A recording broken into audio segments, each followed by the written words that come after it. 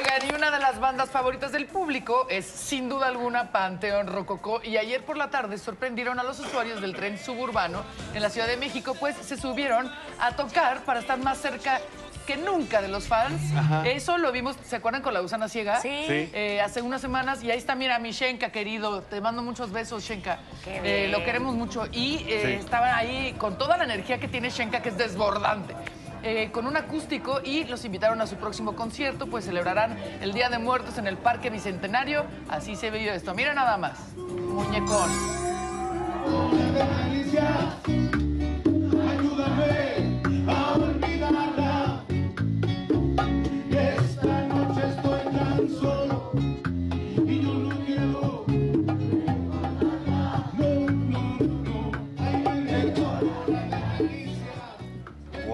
¿Sabes qué? Lo que, lo que me parece una maravilla, porque eso lo hemos visto también eh, replicado en artistas, por ejemplo, del pop o de otros géneros, y creo que aquí sí es eh, auténtico, o sea, sí viene del corazón, porque estas bandas sí están acostumbradas de repente a tocar en lugares como puede ser un chopo, en donde no hay Claro. mucha protección y son muy cercanos a la gente, o se van a los SHs, donde también la banda se pone loca y se sube con ellos.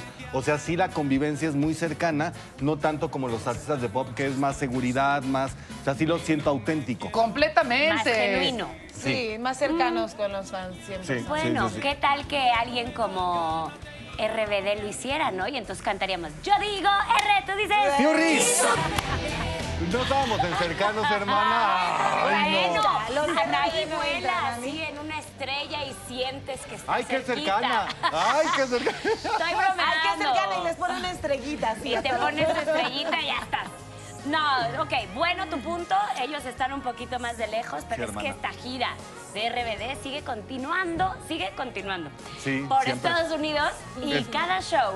Espérame es un tantito. éxito. Voy a ¡Ay! Sigue continuando, Pensé por que me iba a librar. Sí. eh. Sí, bueno, voy a seguir continuando con mi información.